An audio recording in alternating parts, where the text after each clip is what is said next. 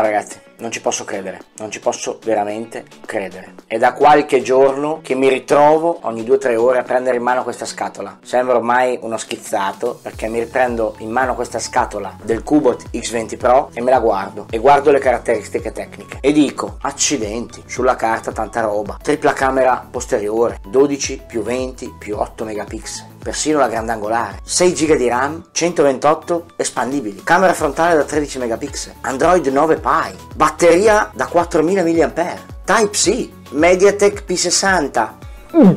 display IPS da 6.3 pollici. Quando io vedo delle caratteristiche del genere, come minimo mi chiedo se non è almeno un medio gamma tendente al top, poco ci manca, o no? Avrei voluto e avrei dovuto, anzi, intitolare questa recensione Ci avrei voluto credere. Anzi, ci credevo davvero, ma stavolta Kubot me l'hai proprio messa in quel posto. Mi hai illuso e poi mi hai disilluso. Credevo tanto che invece fosse la volta buona. Purtroppo mi sbagliavo. Subito dopo la sigla vi dico il perché.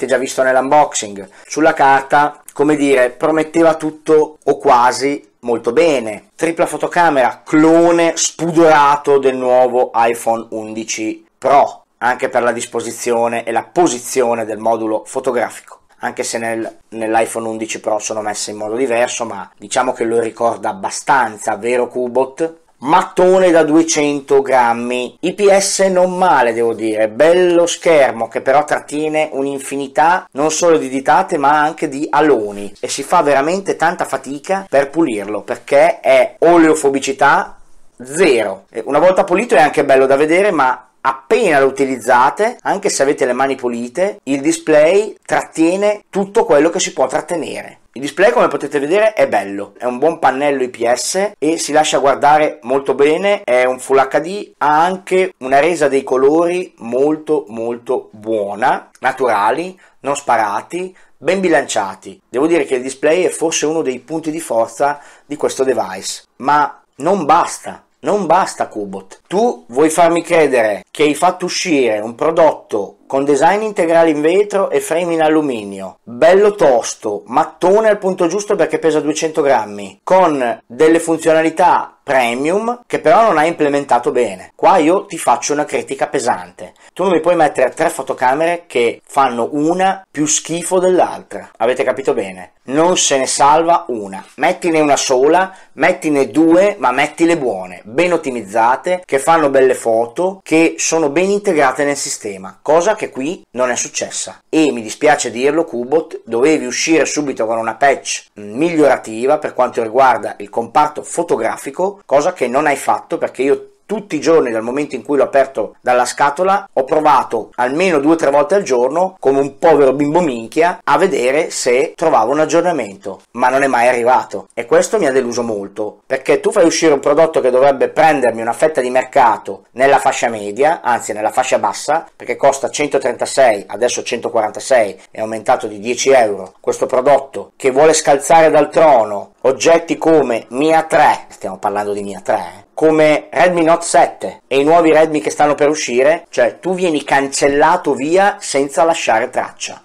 Devo dire, sono rimasto deluso dalle foto che dopo vi farò vedere, sono rimasto deluso dalla reattività e dalla gommosità del sistema, i 6 GB di RAM non si sentono, è tutto molto elastico, gommoso, a scoppio ritardato, non c'è quello sprint che ci si aspetterebbe da un 6 GB di RAM e da un MediaTek che comunque sulla carta dovrebbe funzionare bene, però non è ottimizzato bene col sistema io penso che non ne valga la pena. Non ne valga la pena perché non puoi scalzare dal mercato, come detto, dei giganti come Xiaomi sulla fascia media che ti batte 10 a 0. Ma cosa sto dicendo 10 a 0? 100 a 0 La batteria devo dire che si comporta bene e non scalda, dopo il ripristino iniziale di 4 GB di dati, dopo non ha più scaldato e la batteria ha cominciato a comportarsi bene, sono sempre arrivato a sera con un 20, 25, 30% con il mio utilizzo, arrivando a fare anche quelle 7-8 ore di display attivo. Quindi dal punto di vista dell'autonomia niente da dire. Ricezione ballerina e adesso a banco vi faccio vedere la parte multimediale, le foto e tutte le altre cose che ho provato in questi giorni. Eh, sapete che a me non piace tergiversare troppo, non mi piace parlare di dati fine a se stessi, vi rimando all'unboxing se volete la scheda tecnica completa. Intanto vi parlo di ricarica, la ricarica è molto veloce, devo dire la verità, anche se mettete un caricatore non rapido, lui si carica abbastanza velocemente, in meno di un'oretta si carica completamente, il caricatore comunque ha un'uscita 2 A che carica abbastanza velocemente, circa 40 minuti, 45 minuti, nonostante sia una 4000 mAh. Le notifiche arrivano puntuali, niente da dire per quanto riguarda le notifiche, il display è abbastanza luminoso, non troppo, l'interfaccia del software è quella Android stock. È piacevole devo dire non ci sono particolari problemi per quanto riguarda la fluidità però quando vado a interagire con le app allora lì davvero casca l'asino nel senso che se devo andare ad aprire un'app è laggoso tanto già anche la digitazione è abbastanza lenta non prende sempre i clic sui tasti. Apriamo richiediamo sito desktop. In wifi prende abbastanza bene qua dentro. Anche se a volte vedo che si impalla un po' c'è un micro rallentamento vabbè stiamo parlando comunque di non un processore da top di gamma è ovvio. Le notizie le apre abbastanza bene il display è molto buono devo dire che è un ottimo IPS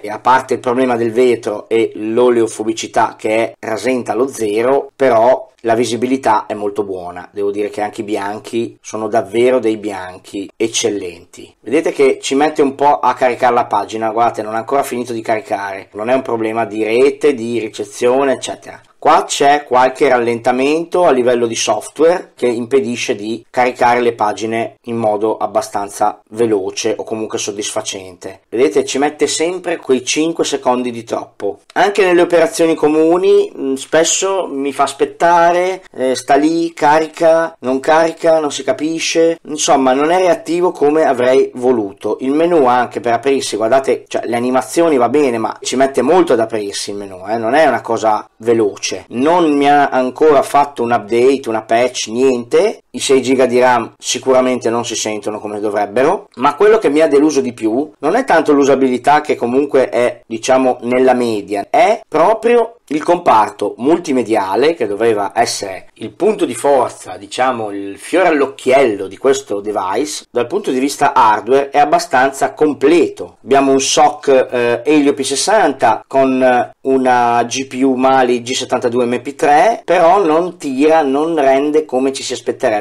La fotocamera spesso è buggata, mi si apre appena vado a mettere la grandangolare, spesso mi si chiude. Quando metto l'intelligenza artificiale sento dei micro scattini, mi dà solo lo zoom ottico ma non mi dà più la grandangolare, non si sa il perché, questa cosa rimane a tutt'oggi un grande mistero. Poi vedete come tutta laggosa la fotocamera è lenta nell'aprirsi e nell'andare da un menu all'altro, non c'è fluidità. E poi c'è questo micro, sembra quasi che ci siano dei micro scatti che si attivano, non so come mai, dentro ai sensori, come se scattasse una molla, non lo so. Le foto non mi hanno soddisfatto particolarmente, cioè guardate questa con condizioni di luce buone e guardate come sgrana, è una delusione totale. E adesso apriamo le foto in galleria, vi faccio vedere. Ho provato a farne un'altra, ma anche qui non ci siamo. Qui guardate come sgrana con buona luce, qua un po' meno, perché c'è una luce diversa, ma anche qui vedete i dettagli sono veramente scarsi. Qua con poca luce, in modalità notturna, è tutto un impastamento di colori assurdo. Anche qua si vede malissimo, guardate, cioè, questo doveva essere uno smartphone che avrebbe dovuto fare foto assurde. Un Redmi 7A, vi faccio un paragone veloce, il Redmi 7A fa foto molto migliori di questo e costa, con la promozione che abbiamo fatto uscire ieri, costa meno di 70 euro, la versione da 2 GB e 32 di storage interno. Qua modalità non notturna è quasi meglio, anche se molto più buia, qui la tazzina di caffè, di giorno se la cava, se la cava, però niente di eccezionale. Appena io vado a zoomare fa veramente fatica. Ci deve essere veramente tanta luce per avere una foto, diciamo, sufficiente però anche la resa dei colori non mi è piaciuta particolarmente e questi artefatti nel voler andare a dettagliare le immagini non mi convincono. Qua ho fatto un video selfie che avevo già fatto vedere che non è male. Ciao amici, ciao ragazzi e vi saluto anche da parte sua. Un salutone da Pasqui e dallo zio Bob. Ciao grandi! Quindi anche qua mh, l'audio non è male, l'audio non è male, qui ho modificato la foto con, con, lo zio, però anche lui giustamente mi faceva notare come brucia dietro, fotocamera frontale da 13 megapixel che avrebbe dovuto fare una foto decisamente migliore. Qua il piatto di pasta che ho mangiato, qui l'ha fatta anche bene devo dire, questa è forse la foto migliore che è riuscita a scattare questo smartphone. Anche qui guardate come brucia la parte sotto e anche l'effetto scontornamento non viene bene, assolutamente assolutamente. Vi faccio vedere un video invece con la fotocamera posteriore, così poi mi dite la vostra. Video in 1080p e 30 fps con Cubo Tix20 Pro. Camminata veloce, mi sono appena incontrato con lo zio, grandissimo.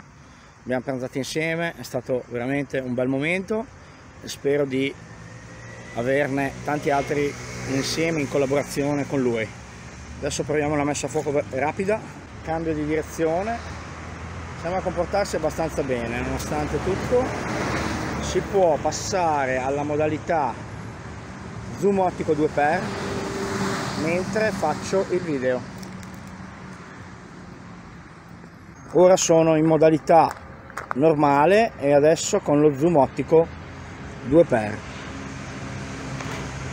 voi mi direte com'è l'audio e la stabilizzazione.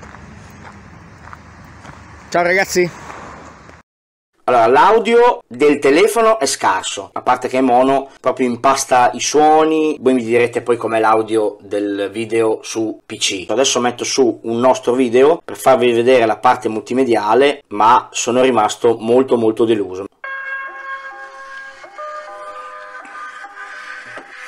Questo è il massimo.